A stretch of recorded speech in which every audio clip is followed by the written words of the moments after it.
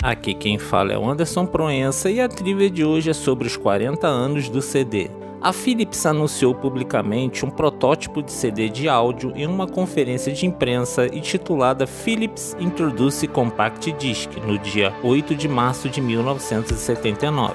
O formato foi originalmente desenvolvido com o propósito de armazenar e tocar apenas música, mas posteriormente foi adaptado para o armazenamento de dados conhecido como CD-ROM. Então a Philips e a Sony criaram uma força-tarefa conjunta para desenvolver um novo disco digital de áudio e assim progredido na pesquisa em tecnologia laser de discos ópticos digitais, liderada pelos engenheiros Kisho Hammer da Philips e Toshidata Doi da Sony. Em 1980, Sony Philips começaram a distribuir os CDs e devido à depressão econômica da época, inicialmente foi um fracasso. No entanto, em 1981, o maestro Herbert von Karavan promoveu a mídia durante o Festival de Salzburgo, onde a nova tecnologia passou a ter sucesso. O seu lançamento oficial se deu a partir do dia 1 de outubro de 1982, começando com Japão e Europa. Em 28 de fevereiro de 1983, o sistema apareceu na América do Norte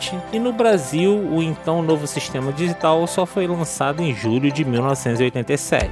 A popularidade dos CDs de música aumentaria, assim fornecendo maior capacidade, durabilidade e clareza de som sem chiados, fazendo os discos de vinil serem considerados obsoletos. Os primeiros títulos gravados em discos compactos foram a Sinfonia Alpina de Richard Strauss, as valsas de Frederic Chopin, interpretados pelo pianista chileno Cláudia Hall, e também o álbum The Visitors, do grupo ABBA.